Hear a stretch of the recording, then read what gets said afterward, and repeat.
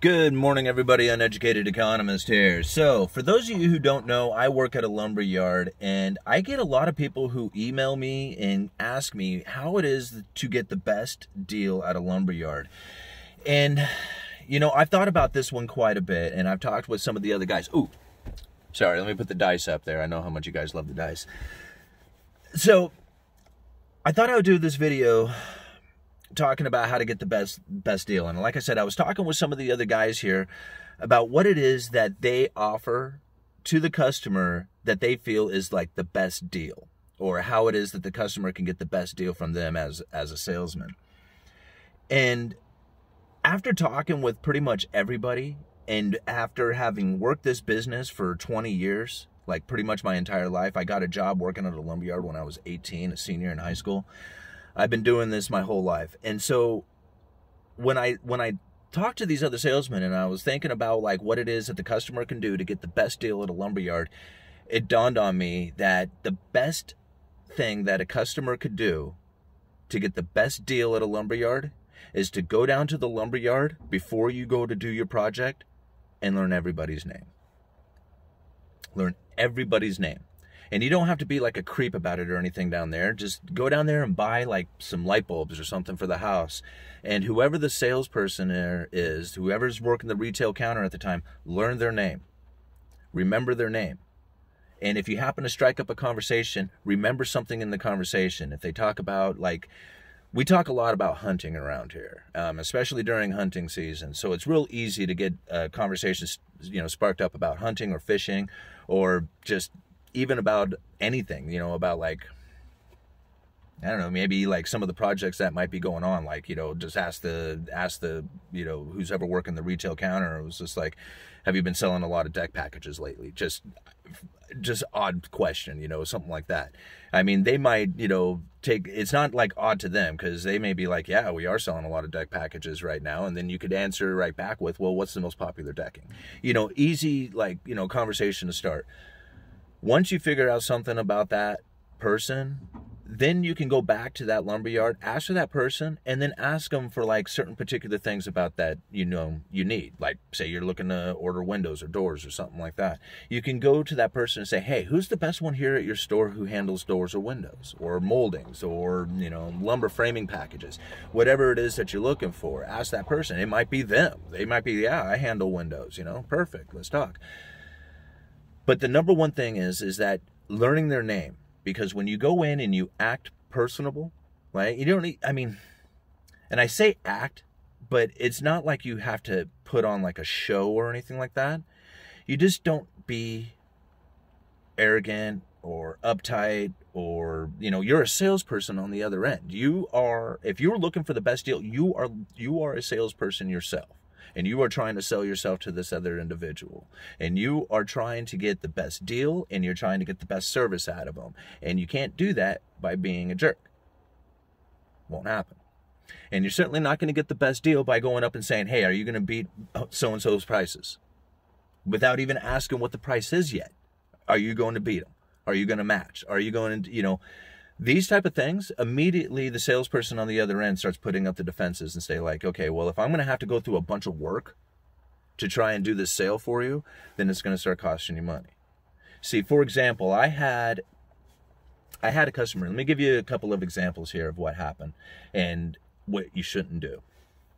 I had a customer who was looking for some specialty decking right? Um it was it was a particular hardwood decking. It's very hard to order this stuff in particular lengths. Like it's hard to say I want 20, you know, 12 footers. It's easy to order the decking, but you have to order it in a random length. You have to say I want, you know, 240 lineal feet. And whatever shows up shows up.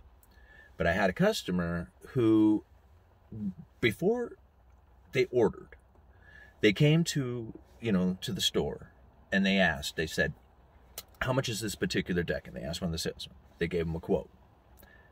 Later, they called the store, got a different salesman, asked him for the same thing. Right? Got the quote. It's the same quote. Like, you know, it was just like, you know, um, the person, I remember the salesperson was on the phone and they put it down. I was like, didn't you just quote some ipe? And they're like, yeah, how much you quote? Yeah, that's the retail? Bam, that's the retail. Same price. right? He just leaned, leaned over and got the same price that he was just quoted just, you know, a few hours earlier. The next morning, comes back in. I'm there. Nobody else is at the counter. It's just me. I'm talking to him. He asked me about ipe, and I'm remembering this conversation from the day before. So I'm like, yeah, I'll get you a price on it. Get his phone name and phone number. He leaves. I give him a, I give him the quote, the same price. Later that afternoon, he's back in. He's talking something totally different. Talking about like, I forget. It was some something totally different. Didn't have anything to do with this decking. But I think he was talking like windows or something. He was talking, trying to order a door or a window or something. And then he asked about this decking. It was a patio slider. That's what it was for the deck. And so he's trying to order this patio slider. He gets the patio slider ordered. Asks that salesman, who was somebody totally different, who didn't involved in any of the decking, how much for this particular decking. He calls up, gets a price. Because he's got this patio slider sale, you know, getting this decking, he gives him a little bit better price. He's like, bam, okay, I'll take it. Right? Not realizing that all this work that he put in to trying to get this sales to, to get to, to drop the sale really annoyed the rest of the salesmen like we all figured it out and saw what he had done, right? And we went to him, was like, man, we all quoted him this price. He's like, oh man, well I had the patio, and I was thinking, it was like, no, it's not a big deal that you dropped the price down on the deck. It's just that he's gone to everybody trying to get this price, and it's really annoying. Right? So now he's got the quote on the deck. Now he needs particular lengths, and he's insistent on getting these lengths. And we told him, it's like, man, and all the salesmen now are clued in, right? And they're like, we can't do it, we can't do it, we can't do it, we can't do it. He asks please. Okay. Hey guys, all right, I'm on the phone with the vendor. I'm like, I got a customer. He doesn't need a lot. It's just like 10 pieces, but they need to all be this length. You'll do it? Wow. Okay, cool. Thanks. That's unheard of. You guys don't do that. And they're like, yeah, well, we got, okay, cool. Uh, hey, bro. They said they would do it. I never heard anybody say that they would do this, but uh, I mean, as far as this particular decking, but they said that they would. I'm surprised, very surprised. A couple days later, the decking comes in. You know, he says, "Great, order it." Right. So a couple days later, the decking comes in, and sure enough, it's not particular lengths.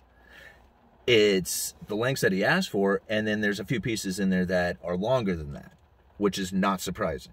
Like the guy wanted exactly this many lengths, but they aren't going to give you exactly that many lengths because they never give you that many lengths. You can't call out lengths. It's only lineal footage. So it wasn't surprising to me when I saw a handful of pieces came in that were a little bit longer. That's not my fault. I told him that was the way it was going to be and that, you know, he's going to have to pay for that extra footage on it. Insisted that was not right, that it was that company who was held liable for it. They should have to eat it, and that there is no way that the customer should have to pay for all this. And you know what? I slid him back over his money for the extra footage because I had charged it for him when we delivered it out to him. I slid him back his extra money and I said, you know what? I'm sorry, but I do not want to handle any more of your sales. And he looked at me like, Are you serious? And I was like, Yes, I'm, you know, the amount of effort that you put in to trying to get this deal done, only for it to cost us money in the end, is not worth it any longer. So I'm sorry. I just don't want to handle any more of your sales. Yeah, maybe some of the other guys will. I've never done that before. I have never, ever, ever done that before. And I probably will never do it again. But I was so annoyed by that sale. That guy will never get a good deal. He will never get a good deal. He tried so hard to get the good deal, and look what happened. He ruined his relationship. I will search out any product for anybody. I don't care how big or small it is. You know, that's the type of thing that you have to pay attention to when you're going into doing a lumber sale with at the lumber yard. These guys are your friends. They're trying to do business with you. They want you to succeed. If you are doing this for business, the lumberyard wants to see you be profitable and succeed. They want to sell you a lot of lumber. They don't want to hurt you. And a lumberyard that has you in mind is going to get your deliveries on time. They're going to search out those products for you. They're going to give you good pricing on it. They care about you. But if you're a jerk to them, why should they care? It's not just about the sales. It is about the money. I mean, at the bottom line, it's always about the money. Okay? But it's also about building a good relationship.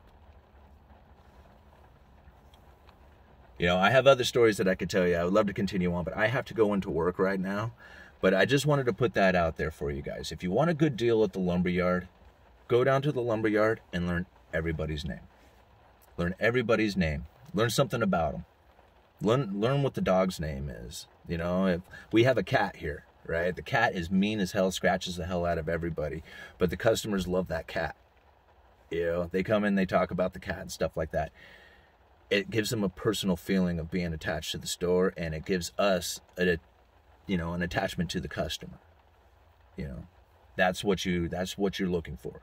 If you can get that, you are going to get a good deal at the lumberyard. You may not get the best price, you're probably going to get the best service though right? Pricing, you have to shop around. I mean, you just have to shop around and don't shop around and beat the beat them up because you might get a good deal once, but that's it. Your your good deal days are over, and now you're fighting for everything. So, it's very important. Build that relationship up with your lumber yard. Learn everybody's name. That's the best way to get a good deal. All right, uneducated economist. A little bit uh out of the norm there for you guys, but I think you might enjoy it. All right, uneducated economist. You let me know.